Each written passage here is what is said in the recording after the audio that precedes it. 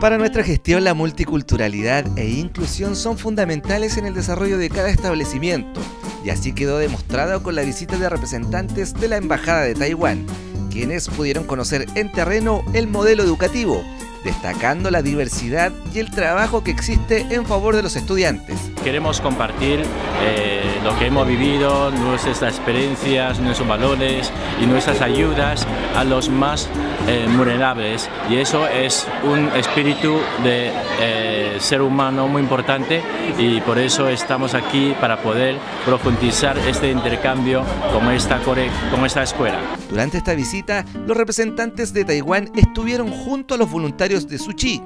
organización que desde 1966 se encarga de ayudar con amor y alegría a quienes más lo necesitan.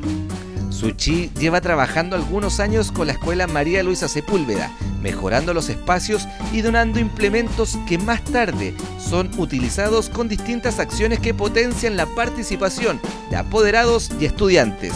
Han ayudado harto al, colegio, eh, ha cambiado harto todo lo que está aquí dentro del colegio, es todo bonito. Hasta los niños están más motivados en, en ayudar, en hacer cosas, también motivados todos los niños y los apoderados.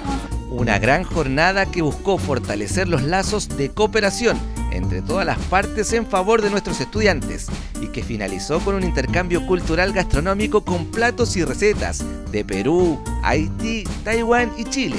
además de una bella muestra de manualidades realizadas por los distintos cursos.